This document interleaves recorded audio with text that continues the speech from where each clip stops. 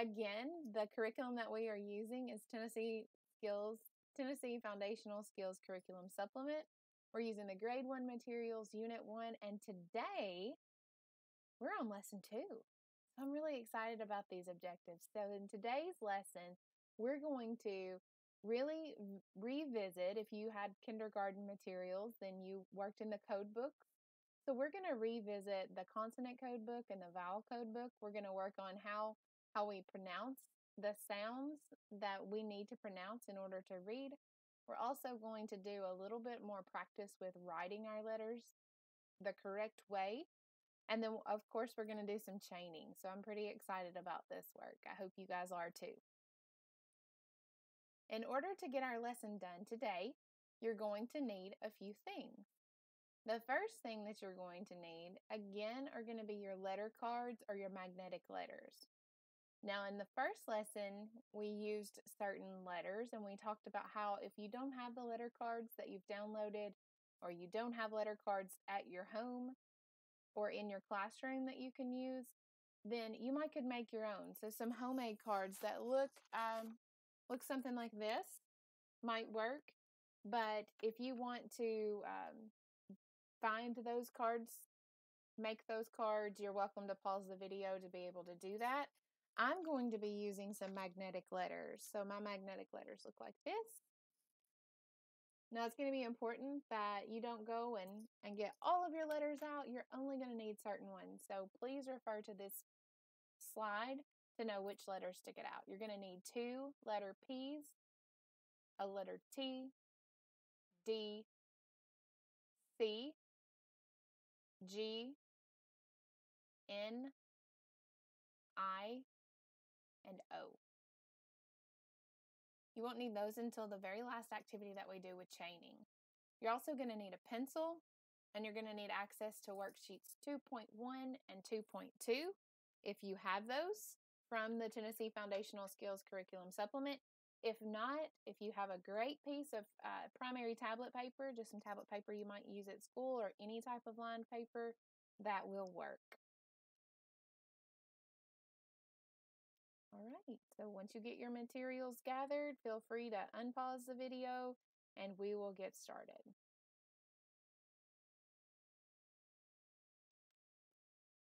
Okay, boys and girls, let's do a little bit of warming up. I mentioned that we are going to revisit our consonant code book and we're also going to revisit our vowel code book. So let's do a little bit of warm up. Now, when you know, when you see your code books, you know that the speech bubble represents the sound that our brains tell our mouths to make when we see that symbol. So when I see that symbol A, my brain says that I should make the ah sound. Right? So let's all practice making that sound. I'll say it, then you say it. My turn, then your turn. My turn. Ah, your turn. Very good. And if you look on the code book in front of you, you can see that it has a gray bar in the box, in the letter box. So in that gray bar, you see that the bar is very long. That's what we call the power bar. The longer the power bar, the more common it is for us to see that spelling for that sound. So we know the sound is in the speech bubble and that sound is ah. And most often we see that sound written or spelled with the letter A as it is in hat.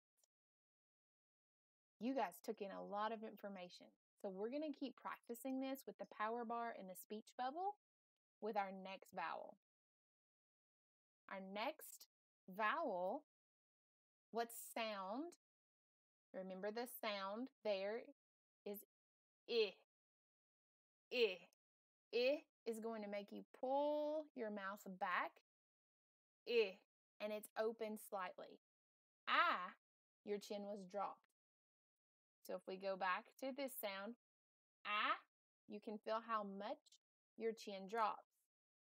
When we move ahead to the I sound, you feel your mouth pull backwards and your mouth is not open quite as big. Eh.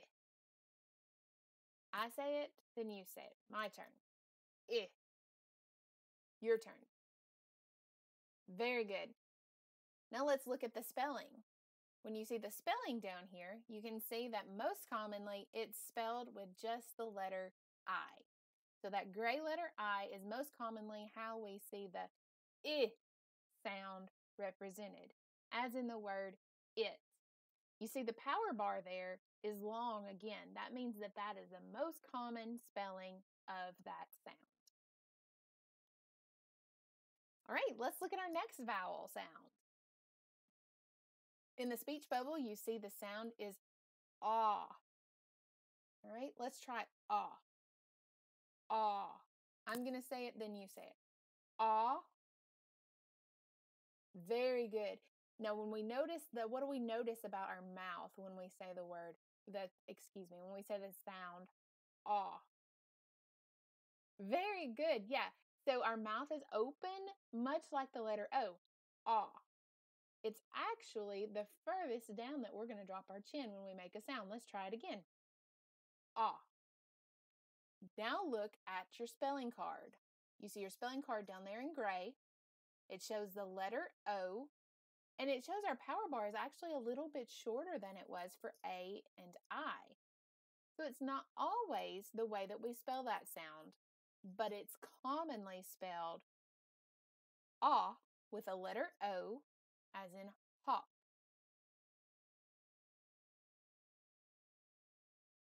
Now let's look at our consonants. So today we're gonna we're gonna visit some of our consonants and probably revisit some of our consonants because you've you've learned this in kindergarten. Right? So this sound is p. want you guys to listen to me do it one more time and then I want you to try to do it. P. Watch my mouth. P. Very good. So when you notice this sound, and the way that you move your mouth, you notice that it's like a puff of air coming out. There's no voice. Put your hand on your throat. You Don't feel anything there. There's no voice in the sound. Look at the red circle. That's the spelling we're going to focus on today. So the spelling for the sound that we're going to work with today is just the letter P, as in pot. And if you look at the power bar, it's actually the spelling that's most common. There's also another spelling where you double those P's, but see how small the power bar is. That's not as common of a spelling as what we're going to use today. So everyone say p, p. Very good. And we're going to spell that with the letter P. Right, let's do another consonant sound.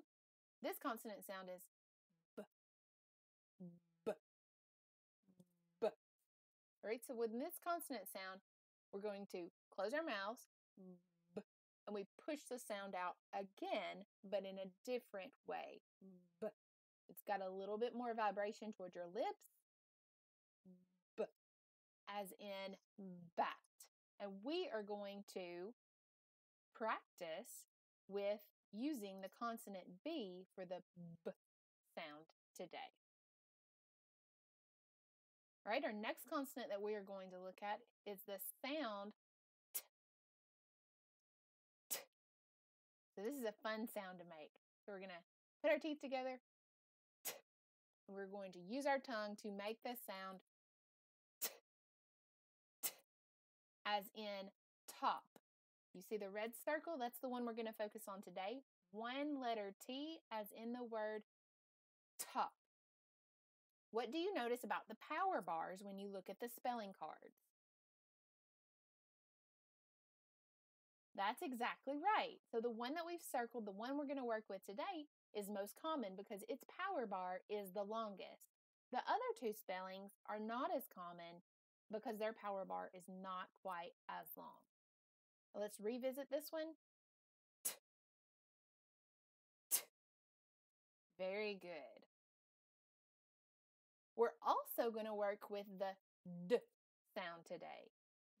D. When I make the D sound, I've got my tongue at the top of my mouth, my lips are open, and I make the D sound. D. As in dot. Again, when you look at the spelling cards in gray, you can see that we are going to be working with the most common spelling as in dot. One D to make the sound D. We're also going to be working with the K sound. K. I'm going to say it, then you say it. Very good. Today we're going to be working with the K sound. That's the sound we make when we see the letter C. You see the spelling card at the bottom has been circled. We're going to work with the letter C and the K sound as in cat. We're also going to revisit the g sound. G sound, as in gift. You look at the spelling cards, you can see that it is also the most common spelling of the g sound, as in gift. I'm going to say it, then you say it. G Very good. Very good. We're going to work with the n sound.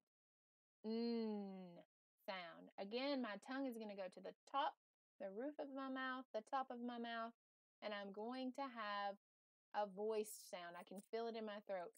N, as in nut. When I look at the spelling cards, I can see that that power bar is longer on the spelling that we've circled that we're going to work with today. So it's the most common spelling of the n sound.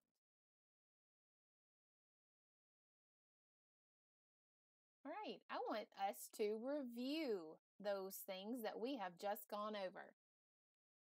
So we're going to say the sound that comes from the speech bubble, and then we're going to say the letter that represents that sound. Okay, we're going to say the sound and then the letter. And then I want you to say the sound and then the letter. Let's see how well we can do. A.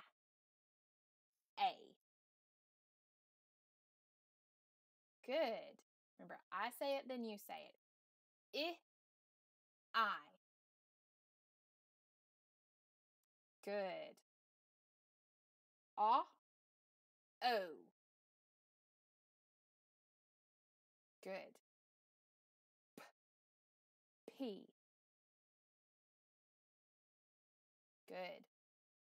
B. B. Good. T.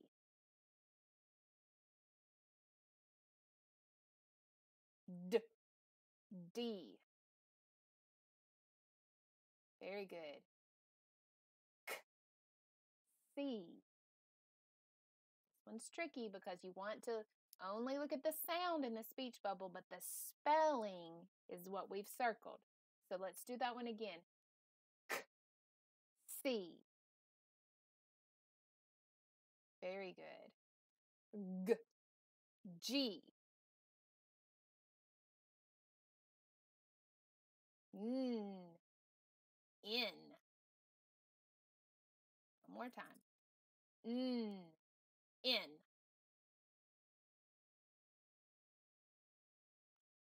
All right. You guys did great with that. So I want us to move over to the next part of our lesson where we get to do a little bit of practicing with that. If you remember from our first lesson, you will know that we were able to work with some handwriting and really making sure that we form our letters correctly. So I'm going to do some of that work with you today, and then I'm going to give you an opportunity to practice that. All right, so let's start with our first letter. Our first letter is lowercase i. So for lowercase i, I'm going to start at the middle line and I'm going to pull down and I'm going to dot it at the top. Now it's important to know that my dot is just a dot. It's not a circle, it's not a star, it's not a heart, even those those might be cuter. We just want one simple dot. So I'm going to start at the middle line and I'm going to pull down and I'm going to put a dot at the top. And that is how I make lowercase i. Lowercase i tells my brain to make, to tell my mouth to make the sound i. So I'm going to pull down i. Now, if I finish out this row, i,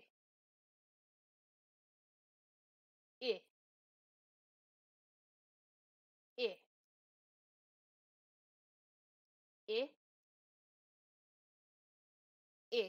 then I get to go find my favorite one. So I'm going to go find the lowercase letter i that looks the most like the example that I have here, and I'm going to put a heart around it. If you'd like to put a star or a smiley face or whatever feels good to you, you are welcome to do that. Now, because we worked on this a little bit yesterday, you've already kind of gotten the hang of how this works. So I did the first row for you. I'm going to model how to make each one of these lessons, each one of these lessons, each one of these letters. And then you guys are going to have an opportunity to go back and finish that up on your own because you guys are big first graders and you're ready to do some work on your own. All right, so let's do uppercase I. I'm going to start at the top, pull to the bottom, go back to the top and cross, and go back to the bottom and cross at the bottom. That is uppercase I, and it tells me to make the sound I. Right, now let's do lowercase o. Start in the center, come around, you touch the middle line, you touch the bottom line, and you say the sound ah. We've just practiced that in our code books. Let's do uppercase O. I'm going to start, come around, touch the top, come around, touch the bottom. And I make an uppercase O. And I say ah. Now for lowercase t, I'm going to start at the top, pull down, and then I'm going to cross in the middle. Again, start at the top, pull down, cross in the middle, pick up my pencil and say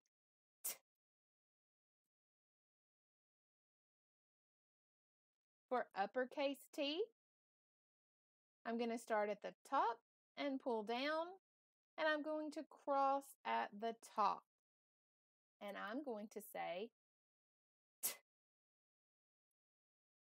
The letter T is the symbol for the sound T. You guys have had an opportunity to do some work with me today, and then you've also had some opportunities to do some work on your own. Now we're going to do one last piece of our lesson today, and that's going to involve your letters. And so if you don't have your letters out, go ahead and get those letters out. Get those letters out. I'm going to be putting mine out. I hope that you are putting yours out as well. Now, as a reminder, the letters that we need, we need two letter P's. We need a letter T, letter D, letter C, a letter G, N, and then we also, those were all consonants. We also need two vowels. We need the vowel I and the vowel O. These are on your screen, so if you need, you still need to make your letter cards, just pause the video, make your letter cards. You still need to find your magnetic letters, pause the video, find your magnetic letters, no trouble. Again, if you're using the Tennessee Foundational Skills Curriculum Supplement, they are available for you to print so that you will have those during each lesson. Okay? Now let's get back to it. I have my letters out. I have my two letter P's, my T, my D, my C, my G, and N. Now, you've noticed today that I've got a few froggy things hop, hopping in around in our lesson. When I taught first grade, I, my whole classroom was decorated in frogs. I just thought frogs were the coolest thing. So here we are. You guys get to see a few little froggy things, and they might sneak up in our lessons later on. So be looking for those. Okay, that looks a little bit better. Let's do some chaining today. We learned how to chain yesterday and I want us to continue that today. So let's let's figure out some words today. Let's let's build them as we get started. And you know what, guys? I left a letter out that we need, so I apologize greatly. You're also going to need a letter A today. So Again, if you need to pause and create that letter, I apologize. I left one of our vowels out. So we're going to need an A, an I, and O, two P's. T, D, C, G, and N.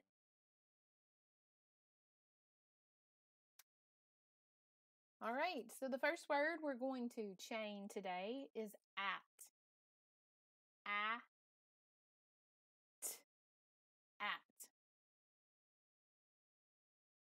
Like for you to build that word as well.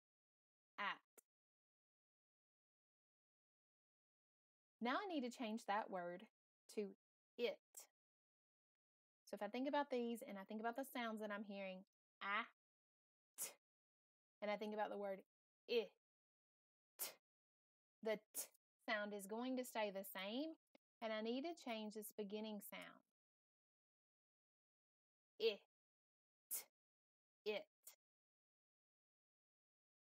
Now I want to change this word to pit.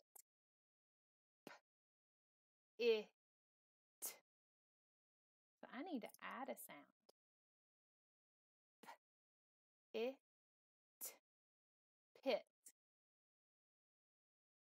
Now I need to change this word to pat. At. Which sound do I need to change? That's exactly right. I need to change that middle sound from I to ah. Very good. I want you guys to make the word pot.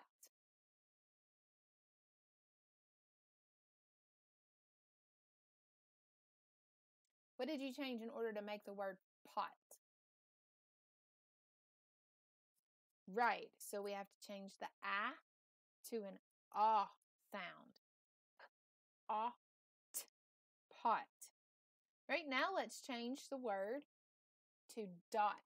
So we're going to go from pot to dot. I need the word d, ah, Yes, I need to change the P. And I look down here in my consonants. Which one of these might work for dot? D, d, dot. Yeah, it's going to be the letter D to represent that D sound. D, ah, t, dot. Right, let's change this word to cot. K, ah, t. You guys work on that one.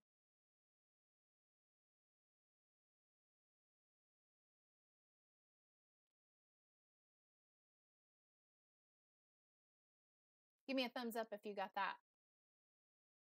Yeah, so this is going to be cot, cot. Very good. All right, we've just got three more. Let's change this word to cop. Op.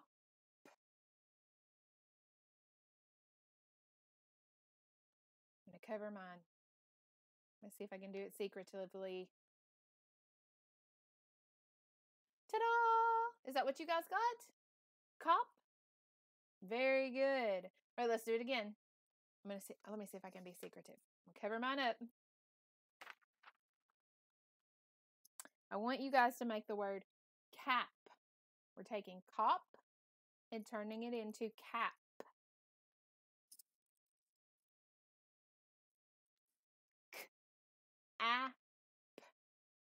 Cap. Which sound am I changing? The beginning, middle, or end? The middle sound. I'm changing it from ah to ah. Is that what you got? I hope so. Cap.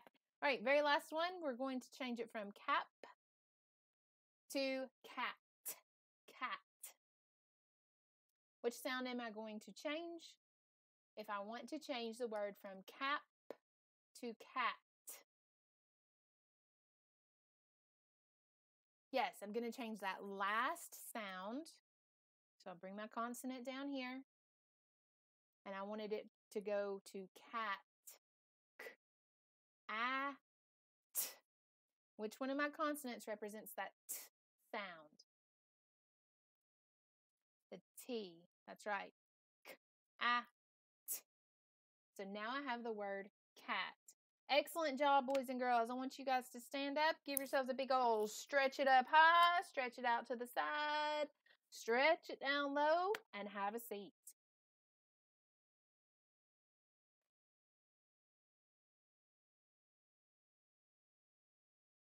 This concludes our second lesson of foundational skills in the first grade. I'm excited to continue working with you guys. I look forward to seeing you for lesson three, and I hope you enjoyed your day. Please keep in mind that we're going to continue to work and do these um, lessons.